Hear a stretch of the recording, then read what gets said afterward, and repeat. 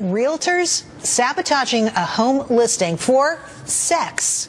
We have new video. Check this out. Obtained by Inside Edition, capturing lewd acts by two Coldwell Banker agents who were supposed to be selling a vacant New Jersey home. They were not. They were doing something else entirely.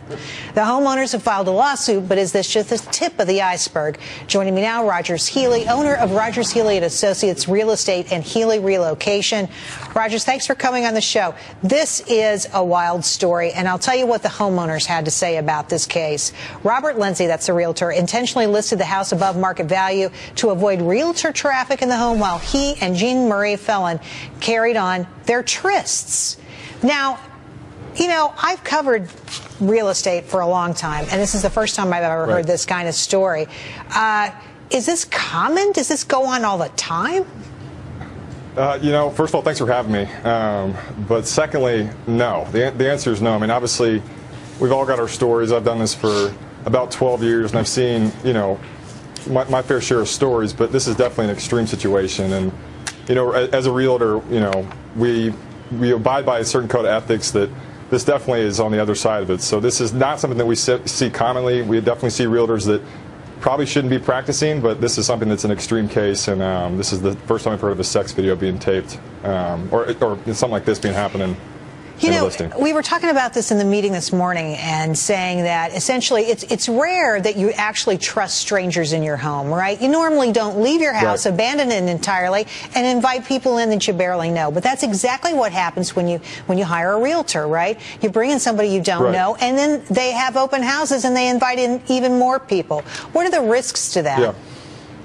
Well, I think to answer your question about hiring a realtor first, I think now we've gotten so reliant on the internet that hiring a realtor is really like going on a first date with somebody. And I think rarely does someone hire a realtor without doing a Google search or getting on Facebook or even checking their Instagram to make sure that you know you at least have somebody in common. And you know the the beauty and the agony of, of something like Google is it really tells you everything, whether it's true or not. So you can probably do your due diligence before picking somebody. But, but Rogers, uh, is, Yeah. is it enough to do a Google search? Is there any place you can go to find out what kind of track record these realtors have, if, if they're trustworthy, if they've had problems? Yeah. So most major markets across the country, the, the top 5,100 markets, they're going to have a local board of realtors that you can call and just check on the status of that agent. And if anybody's ever had their license suspended or, you know, expelled or withheld, that's obviously a red flag that you want to avoid working with that realtor. So, real estate agent and realtor, two very different things. If you're a realtor, you've got a license, you're considered, I Right. think, you know, much more above board. But obviously, people out there concerned about the kinds of downsides that could happen. What do you say to people who maybe they say they don't want to open their house to an open house because they're worried something's going to get stolen? Yeah, no, I understand, and especially when you work in the luxury price point like we do here in Dallas, um, you know, you take that risk, and you know, to kind of be blunt, I tell my agents here in Dallas to, you know, open houses, in my opinion, don't really sell the house that they're holding open. You know, it's really for people looking around for nosy neighbors and. Um, people are just curious, and you know I, I find that most houses sell, you know, by people starting on the internet. That that is a great insight. I think you're absolutely right. That's exactly what happens. Uh, Yeah. Any other words of advice to people out there who might be looking for a realtor, an agent, somebody to list their property? Um, Yeah. Any other conflicts of interest they should be aware of?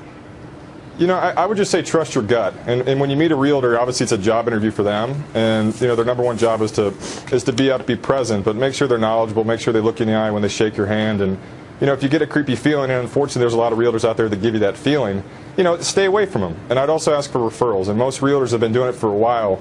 You know, they're going to have clients that are willing to help you out and, and you know help them secure a deal. So trust your gut. That's kind of something that we live our life with, you know, all the way around, especially with picking a realtor. I won't forget that story for a long time. That was amazing. Yeah, Rogers, thanks for thanks for coming on and talking to us about it. Really appreciate it. Thanks Thank you. me.